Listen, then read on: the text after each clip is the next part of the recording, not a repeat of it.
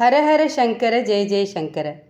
மகா பெரியவாளுக்கு செய்கிற தொண்டு தான் மகேசன் தொண்டுன்னு நினச்சி அதுக்காகவே தன்னோட வாழ்க்கையை அர்ப்பணிச்சுண்ட பக்தர் ஒருத்தர் இருந்தார். வயசான அம்மா மனைவி கல்யாண வயசில் ஒரு பொண்ணுன்னு சின்ன குடும்பம் தான் அவரோடது. ஆனால் அதை குறையில்லாமல் நடத்துறதுக்கே ரொம்ப கஷ்டப்பட்டார். தினமும் ஏதாவது சின்ன சின்ன வேலைகள் செய்வார். அதில் கிடைக்கிற சொற்ப பணத்தில் தான் குடும்பம் நடத்தின்னு இருந்தார் இந்த சூழ்நிலையிலையும் ரெண்டு மூணு நாள் சமாளிக்கிறதுக்கு தேவையான பணம் கிடைச்சிட்டா போகிறோம் அதை அப்படியே வீட்டு செலவுக்கு கொடுத்துட்டு நடந்தே ஸ்ரீமடத்துக்கு வந்துடுவார். அடுத்து எப்போ குடும்ப ஞாபகம் வருதோ அது வரைக்கும் அவரோட உலகம் முழுக்க மகானோட சந்நிதி தான் அப்படிப்பட்ட பக்தர் வழக்கம் போல ஒரு நாள் ஸ்ரீமடத்துக்கு வந்தார். எப்பவும் போல தொண்டுகள் செஞ்சுட்டு இருந்தார். ஆனால் இந்த தடவை அவரோட மனசில் வழக்கத்துக்கு மாறா சில போராட்டங்கள் நடந்துட்டு இருந்தது. அதுக்கு காரணம் முதல் நாள் அவரோட மனைவி பேசின சில வார்த்தைகள் தான். நானும் சொல்லிகிட்டே இருக்கேன் நீங்கள் கண்டுக்கிறதே இல்லை. பொண்ணுக்கு இப்போவே கல்யாண வயசாயிடுத்து. இன்னும் காலத்தை தள்ளிண்டே போனால் எப்படி? அங்கே இங்கே யாரையாவது கேட்டு ஒரு அஞ்சாயிரம் ஆறாயிரம் ரெடி பண்ணினா இவ்வளோ ஒத்தன் கையில் பிடிச்சி கொடுத்துடலாம். கொஞ்சம் கோபமாகவே சொன்னா அவரோட மனைவி. இத்தனை பணத்தை கடனாகவோ யாசகமாகவோ கேட்க எனக்கு யாரை தெரியும்?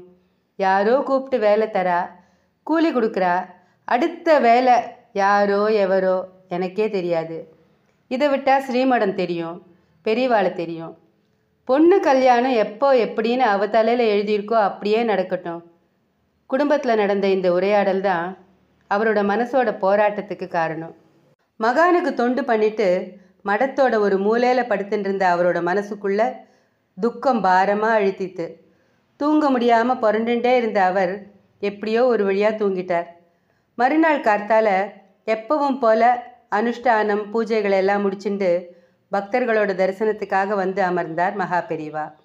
மகான் தன் பக்கத்தில் இருந்த ஸ்ரீமடத்து தொண்டரை கூப்பிட்டு ஒரு மூங்கில் தட்டில் முழு ரூபாய் நாணயம் ஒன்றும் வெத்தலை பாக்கும் வச்சு எடுத்துட்டு வான்னார். அப்படியே தொண்டர் கொண்டு வந்த மூங்கில் தட்டை தனக்கு பக்கத்தில் வைக்க சொன்னார். அதுக்கப்புறம் அதை பற்றி எதுவுமே சொல்லலை. அதனால் அது எதுக்கு வச்சிருக்காருங்கிற ஆச்சரியம் எல்லாருக்குமே இருந்தது. பக்தர்கள் வரிசையாக வந்து மகானை தரிசனம் பண்ணினா பழங்கள் பூக்கள்னு மகான் முன்னாடி சேர்ப்பிச்சா ஆசியும் அனுகிரகமும் வாங்கிட்டு போனா. சில பக்தர்கள் மட்டும் மகானோ மற்றவாளோ எதுவுமே சொல்லாமல் பரமாச்சாரியா ஒரு ரூபா நாணயத்தோட ஒரு மூங்கில் தட்டில் வச்சுருந்தாரு அதில் தங்களோட காணிக்கைகளை வச்சா. எல்லா பக்தர்களும் தரிசனம் பண்ணிட்டு போனதும் மனசு பாரத்தோடு இருந்தாரே அந்த பக்தரை கூப்பிட்டார் மகான். இதோ இந்தா இந்த தட்டில் இருக்கிறது எல்லாம் உனக்கு தான் எடுத்துட்டு போய் பொண்ணு கல்யாணத்தை நல்லபடியாக நடத்துனார் ஒன்றும் புரியாமல் கண்கள் கசிய கைகள் நடுங்க அந்த தட்டை பக்தர் எடுத்துட்டதும் மகான் சொன்ன வார்த்தைகள் தான் அந்த அதிசயத்தை அவருக்கே உணர்த்தித்து.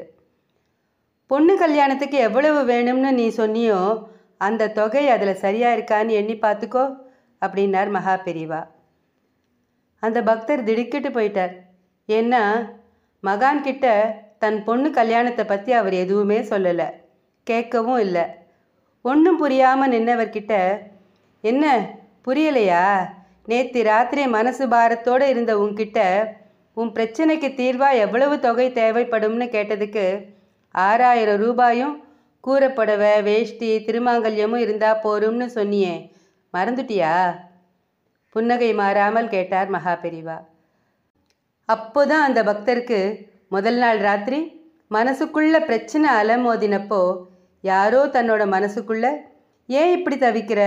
உன் பிரச்சனை தீர்றதுக்கு நான் இருக்கேன்னு ஆறுதலாக பேசினது ஞாபகத்துக்கு வந்தது. மகேசன் குரலா மனசுக்குள்ளே கேட்ட அந்த குரல் மகானோடது தாங்கிறத உணர்ந்த அவர் அப்படியே நெடுஞ்சான் கிடையா அவரோட திருவடியில் விழுந்தார். மகான் சொன்ன மாதிரி அந்த தட்டில் இருந்ததெல்லாம் எடுத்தார் பார்த்தார். பல வகை பழங்கள் பூக்களோட யார் யாரோ தந்த தொகை மொத்தமாக ஆறாயிரம் இருந்தது. அதோட ஒரு பட்டுப்புடவை பட்டு வேஷ்டி அரை சவரனில் திருமாங்கல்யம் அத்தனையும் இருந்தது. மென்மையாக சிரித்த மகான் நீ கேட்டதோட ஒரு ரூபா சேர்த்து கொடுத்துருக்கேன். தாம்பூலத்தோட சேர்த்து எடுத்துக்கோ அப்படின்னு சொன்னார். மூங்கில் தட்டில் முழு ரூபாய் நாணயத்தை வைக்க சொல்லி அவர் நடத்தின திருவிளையாடலை அங்கே இருந்த எல்லாரும் புரிஞ்சுண்டதோட அடையாளமாக அங்கே ஹரஹர சங்கர ஜெய் ஜெய் சங்கரங்கிற கோஷம் நிறைஞ்சு சங்கமிச்சது. ஹரஹர சங்கர ஜெய் ஜெய் சங்கர காஞ்சி சங்கர காமகோட்டி சங்கர ஹரஹர சங்கர ஜெய் ஜெய் சங்கர காஞ்சி சங்கர காமகோட்டி சங்கர. ஹரஹர சங்கர ஜெய் ஜெய் சங்கர. காஞ்சி சங்கர காமகோட்டி சங்கர. ஸ்ரீ மகாபெரிவா திருவடிகளே சரணம்.